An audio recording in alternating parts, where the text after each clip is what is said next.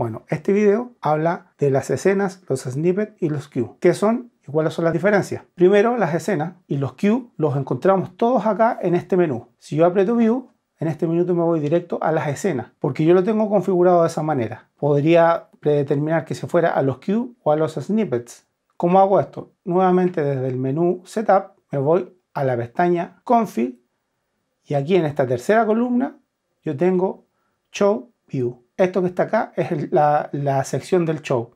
Entonces podemos decir que nos partan los cues, los, las escenas o los snippets. Por eso yo cada vez que aprieto acá me voy directamente a las escenas. Entonces, ahora vamos a las diferencias entre la escena, los snippets y los cues. Bueno, primero que nada, las escenas tienen la capacidad de guardar absolutamente toda la configuración que hagamos en la, en la consola. Las asignaciones, las mezclas, la ecualización, eh, los, buses de mezcla, todos los ruteos que hagamos, si tenemos algún multipar digital o estamos recibiendo, por ejemplo, eh, desde algún Pro Tools, eh, señales multipista por, a través de la tarjeta sonido, todo eso queda guardado acá, nuestras asignaciones, etc. En cambio, los snippets no. Los snippets nos permiten seleccionar cuáles son los parámetros que nosotros queremos guardar. ¿Por qué es útil esto? Porque nosotros dentro de una misma escena podemos ir guardando pequeños cambios, como que, por ejemplo, en, determinada parte de nuestro show eh, necesitamos mutear simultáneamente cuatro o cinco micrófonos. Algunos canales estaban abajo y al cambiar de snippet, en el siguiente snippet van a estar arriba, etc. Hay múltiples opciones que podemos tener con los snippets y son pequeños cambios. Entonces, ¿qué elijo yo para guardar? Por ejemplo, de acá yo voy a elegir que me guarde el fader y el mute. Entonces, ¿qué me estaría guardando esto? La posición que yo deje los fader, los mute y junto con el fader también el paneo. Después, yo tengo que decir a qué canales yo quiero que se me guarden. Por ejemplo, los canales del 1 al 32 tendría que seleccionarlos uno por uno. Luego, también yo, por ejemplo, podría querer que me guarde los efectos. ¿Por qué? Si yo me voy al rack de efecto, acá en los primeros tres tengo dos reverberaciones y tengo un delay. Entonces yo podría querer que esos parámetros se me guarden. Vamos a hacer la prueba con los primeros 32 canales y vamos a ir guardando algunos snippets. Ahora, ¿qué información va a tener el snippet que vamos a guardar en el número 5? Van a ser los 8 primeros canales muteados, el resto de los canales abiertos. Del 9 al 16 van a estar abajo. Solamente voy a guardar eso, no voy a guardar ecualización y nada más. Guardo en el número 5 y para identificarlo lo voy a poner en el número 8. Ahora que tengo esto guardado, lo que voy a hacer es abrir los primeros 8, subo estos faders y bajo los primeros 8. Y eso lo voy a guardar en el snippet 6 y le voy a poner el nombre 9. Y en el siguiente voy a tener todos los canales arriba y todos los canales abiertos. Y eso lo voy a guardar en el 7 con el nombre todo.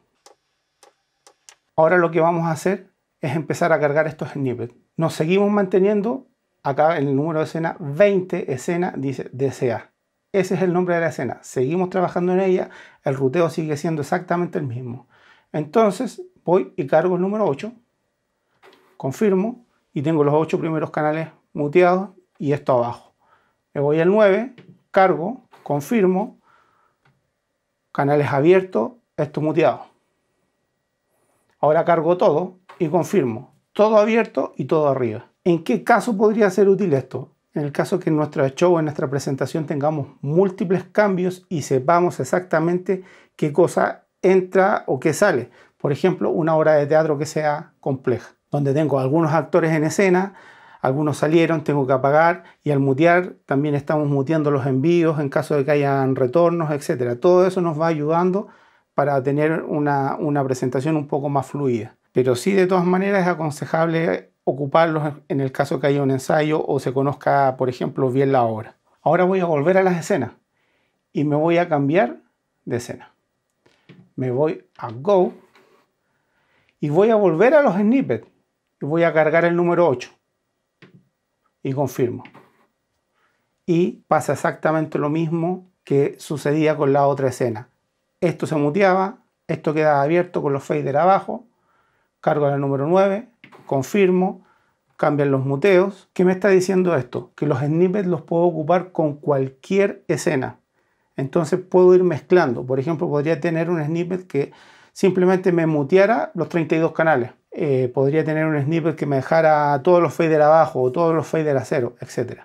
O, por ejemplo, algo que sería muy útil, que me dejara todos los canales limpios. ¿Qué tendría que hacer para eso?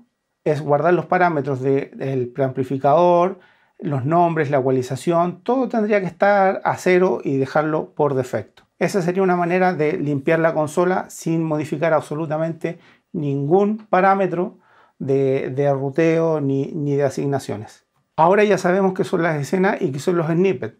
Pero ¿cuál es la diferencia con los queues? Los queues primero hay que crearlos. Y uno empieza a agregar nuevos queues, por ejemplo. Sigo agregando queues. Desde el 6 en adelante no hay nada asignado. Yo puedo asignarle a cada uno de estos queues una escena específica. Por ejemplo, la selecciono aquí, selecciono esa escena y puedo seleccionar o no algún queue específico. La consola permite guardar 500 queues, 100 escenas y 100 snippets. Y estos los podemos ir mezclando. Ya que tengo los tres últimos queues creados, los puedo ir llamando. Cargo y confirmo y me deja lo que tenía yo programado acá. Después voy al siguiente, cargo, confirmo y me deja esto como está. Cargo y confirmo. Entonces, estos snippets están afectando a esas escenas.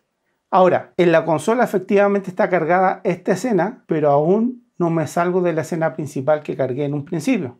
O sea, sigo en la escena tutoriales escena. Simplemente se está sobreescribiendo la información.